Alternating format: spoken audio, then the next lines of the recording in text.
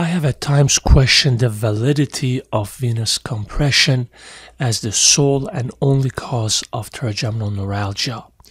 Typically, if I see a vessel possibly compressing or offending the trigeminal nerve, I mobilize the vein and also uh, perform a gentle rhizotomy.